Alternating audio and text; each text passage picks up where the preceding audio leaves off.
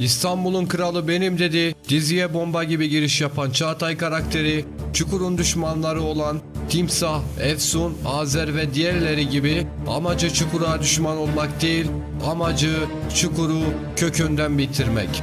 Hatırlarsanız Baykal Bey'in telefonlarını sadece bir kişi meşgule atardı. İşte o kişi Çağatay karakteri.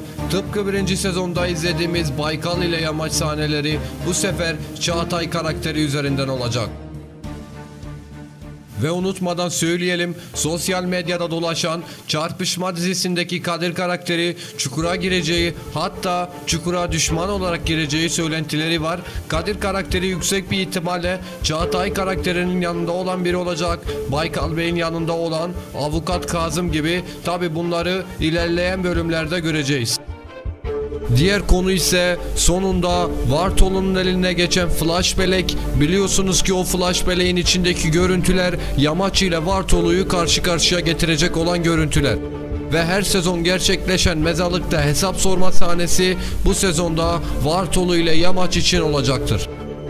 Vartolu yamaça babamızı neden vurdun dediğinde aralarında yine bir kavga gerçekleşecek.